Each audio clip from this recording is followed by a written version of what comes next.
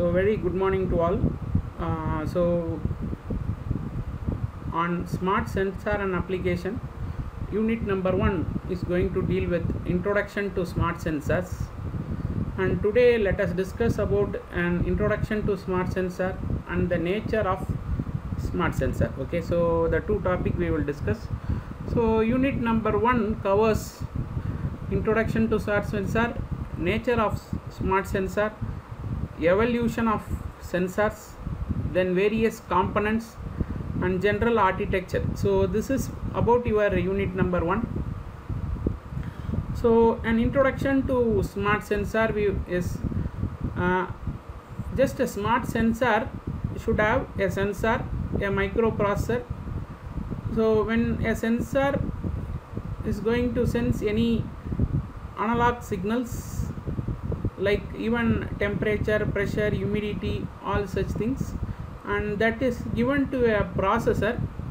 So that processor will get the information and try to do some process. If this two is being brought on a single board then we call it as system on chip. In two mark they can ask what is system on chip? The system on chip is nothing but a sensor with the processor. We call it as system on chip. Okay? Then some this processor uh, similar to human see when you take our human behavior or human brain behavior uh, we are very smart. With the smart is nothing but see for example when you are asked to explain about anything we will explain with some reference with our past experience all such things cannot be directly done by a processor okay? So when you are giving a processor of such informative processing then it becomes intelligent sensor okay? So with our past experience if you are taking any decision then it becomes intelligent sensor. You see we know. In our childhood itself uh, our parents used to say do not touch the object. The object may be so hot but what we will do we will try to touch and see. Once we touch we will experience the art of that particular object. Then from the next time we will not keep our hand on that particular thing. So this is also an intelligence we are gaining from our experience. So like that when you are from your past experience if you are able to take decision then that part is called as intelligent sensor okay so a smart sensor then have the ability to make some decision. So whether uh, to turn on to turn off uh, or to wait or to switch over like that if you are making anything then that sensor will become a smart sensor. Physically a smart sensor consists of a trans transduction elements which is nothing but a uh, transducer is nothing but which converts from one form to other okay? Uh, the form which finally converts into electrical signal. The input can be pressure temperature moisture water level and whatever may be okay? If you if you see a smart sensor uh, i will give an example. Automatic uh, pump operating system where it will try to sense whether the water is there in your well if it is there it, it may be well bore or whatever or a storage tank whatever may be. So it will try to check the whether water is there. Yeah if water is there then it will check on the overhead tank whether there you have water is there. If it is empty then it will automatically start the motor and start to fill your overhead tank. Once your overhead tank gets filled up automatically motor will be turned off. So this system is called a smart system so you are smartly you are turning on turning off your motor. So the smartness is i will not run the motor in empty which means i will not turn on the motor unless there is water in my sump or water in my well or water in my bore well if there is no water i will not turn on my motor at all okay? Similarly already if your overhead tank has 90% of water then at that time also i will not turn on the motor and then make the water to get wasted okay? So this is what the smart is. So you are doing some smartness. So here the role of transducers are is to identify. So in this example what type of transducer we will have? We will have a transducer to measure whether the presence of water that's all. So at the sump as well as in your tank the transducer work is to uh, convert the availability of water identification into an electric signal. Then signal conditioning is see if you have any signal from your transducer your environment also has some noise. That noise will also get added up and this noise has to be removed and only the signal has to get enter into your processor. So that is taken care by signal conditioning system. And then followed by controller or the processor okay that supports some intelligence. That intelligence only what i told is only if water is there i will turn on. And based upon that over a tank again i will take decision to turn off and turn on. So i think now you can understand what is a smart sensor is. I repeat a smart sensor is nothing but a combination of sensor plus a microprocessor. And when the sensor plus microprocessor put together you call it as system on chip. Okay and this system on chip should have some intelligent on its own. So then it is called as intelligent sensor. Uh, and the example i have told water pumping system where you will have a transducer followed by signal conditioning then the your microcontroller or a processor that the support for your intelligence okay? Then the intelligence required by such devices is available from microcontroller unit. We call it as mcu you might have studied a paper called microprocessor and microcontroller. That microcontroller only i am saying. It is called mcu then some advanced which is called digital signal processor where i can in in first controller what we told that is microcontroller where i will have i have to have a separate analog to digital conversion then the digital will be sent into the mcu whereas in digital signal processor directly i will get the analog and this in digital conversion will be in the inside inside the dsp itself. Then comes application specific integrated circuit which we call it as asic technology. That is for that particular application alone okay? That type of controller cannot be used for any other application. Um, example is you have a controller inside your washing machine. Uh, that cannot be taken and put and that cannot be used in a television. I am right? So a controller present inside a my uh, washing machine uh, cannot be taken and cannot be put on inside your tv and ask the tv to work. Because tv required some other type of signal and some other type of signal processing. So a tailor made controllers. So tailor made controllers are nothing but for that particular application alone that controller will work. That we call it as asic so these are the different types of controllers available. The term micro electromechanical system. So they call it as mems mems this is a emerging trend or emerging technology which you have to be more familiar. So which is nothing but a, it is a combination of ec plus triple e plus mechanical. So that is what i have told. When you want to become a success engineer or when you want to become a success in your career you should be wide open which means you should not just say i am a computer science engineer.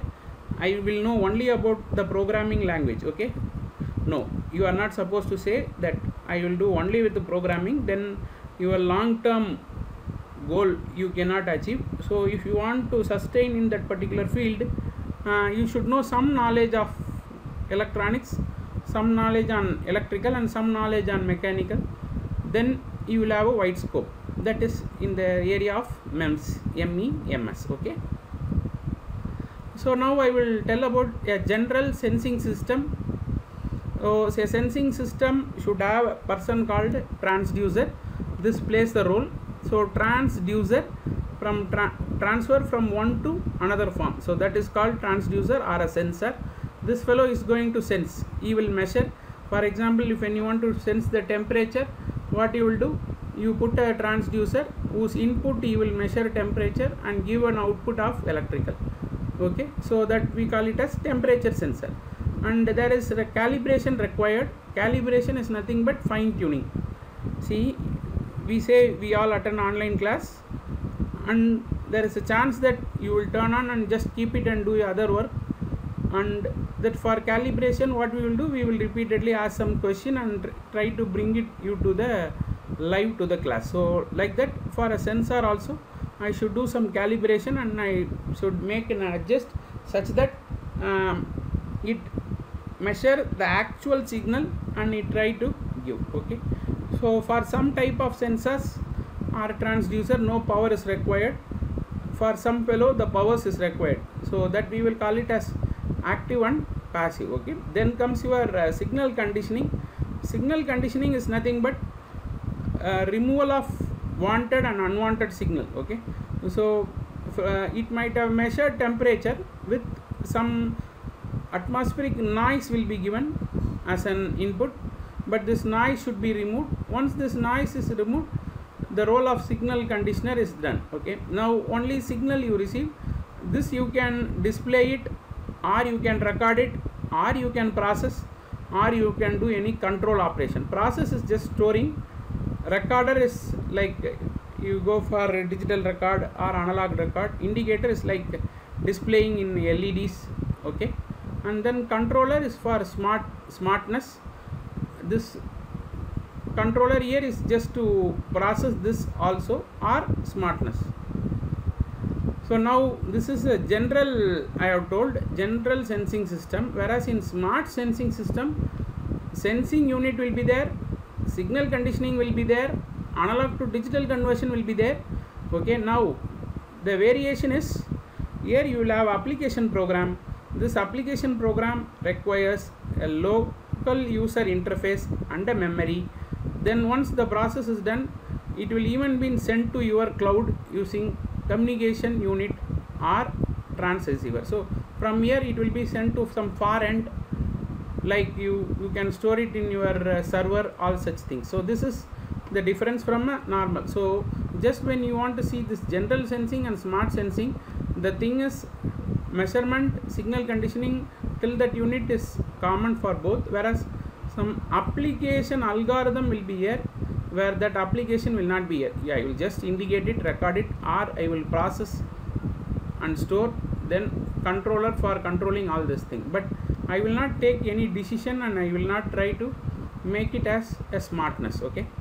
Uh, usually there is a person called IEEE uh, with a particular number you will say for each and every definitions so the IEEE 1451.2 will tell about what is a smart sensor is. So he defines the smart sensor as that provides function beyond the necessary for generating a correct representation of sensor or control quantity. The function typically simplifies the integration of transducer into an application in a application in a networked environment. So you there should be some application there should be some network environment then there should be a proper sensing of data. If this three is combined then comes your smart sensor. Okay now various types of mechanical measurements. So you have displacement temperature pressure velocity acceleration force torque mechanical impedance strain flow humidity proximity range liquid level slip. Then comes imminent pollution. See all these things are there. I don't want to make you to confuse because these are various types. Only some you might have known and some is purely for electrical and electronic students. Just you try to know that mechanical thing is been measured. Mechanical thing has been measured and is been given as an output from a sensor. So once the output from sensor then it is totally going to be a digital. Once it is digital then the role of computer engineer starts. But the thing is if you get any digital you should know from where this digital then only you can say whether it is within the limit or outside the limit and all okay? Just some basic uh, is required that's all. You are not requiring more knowledge not up to say what is acceleration what is force what is torque all such things it is not required but to some extent. Because see now whatever you see on the real world now it has been automized okay? Nothing is on open loop everything is now working on closed loop. So you should have some knowledge that's all. Then the nature of smart sensor the output from the most of this sensing element is low level and subjected to several signal interface source.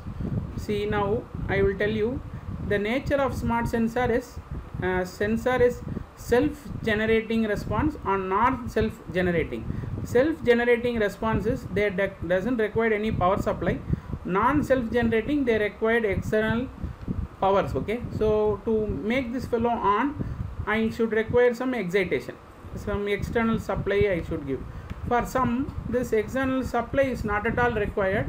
So that will directly work. For example when you see piezoelectric material one side if you vibrate automatically on the other side you will get electrical.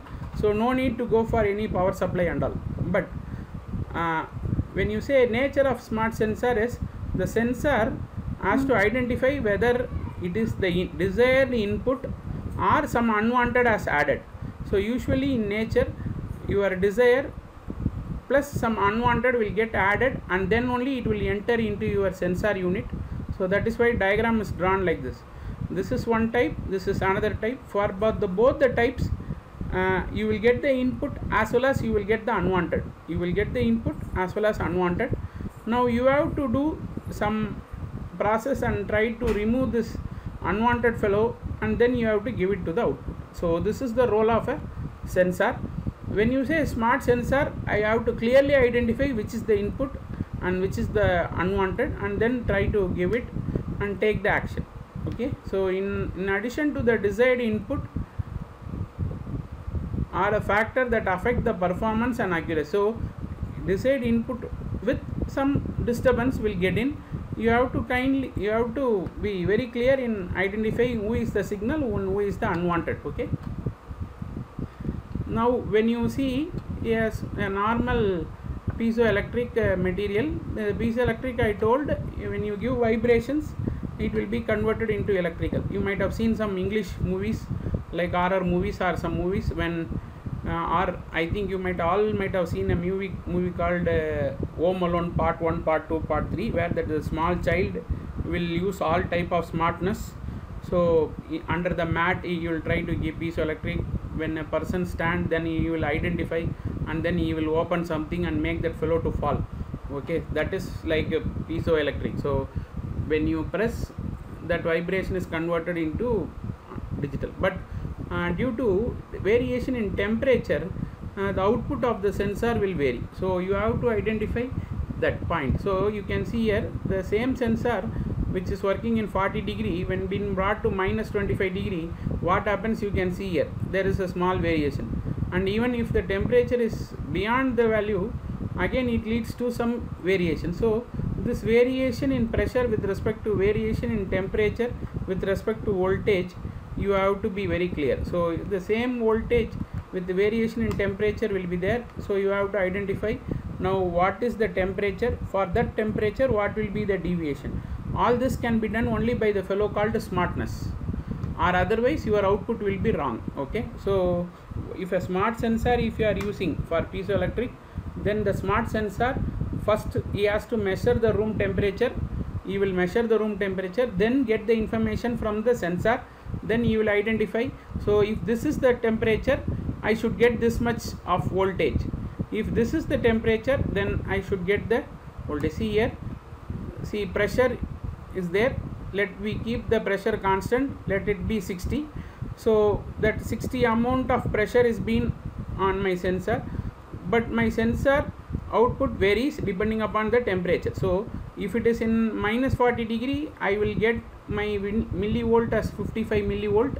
Whereas if it is in plus 25 degree i will get it as 45 and if it is in plus 125 degree i will get it as 35 so now my only if you put a smart sensor then you will measure the temperature and identify which value. Okay? See the voltage value is varying but the pressure value is not varying.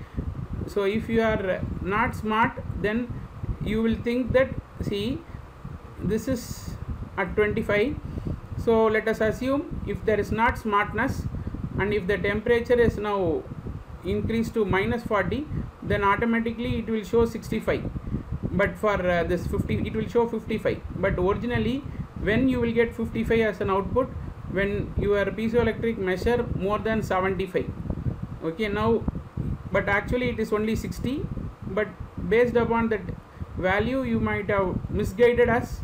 It is the value for 70 so that has to be taken care by the smart sensor. Then control system.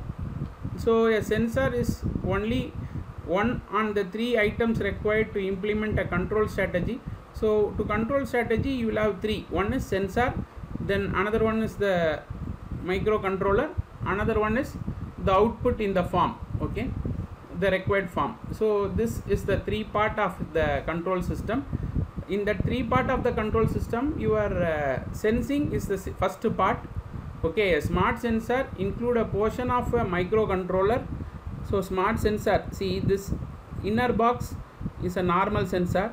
If you say smart sensor this outer box so sensor plus some microcontroller. So that is what been written here. A smart sensor includes a portion of a controller function in the sensor portion of the system that means software will play an increasingly important role in a smart sensor. So which is playing a major role? Your program which is there in your microcontroller. That program is written by a computer student or computer science engineer. So that computer science engineer plays a major role in a smart sensor okay? Then so this is a general diagram okay? So I will just rearrange and I will make it as a smart sensor. So you can see here sensing element signal conditioning converted into ADC controller plus memory. All that put together in a single block will become a smart sensor.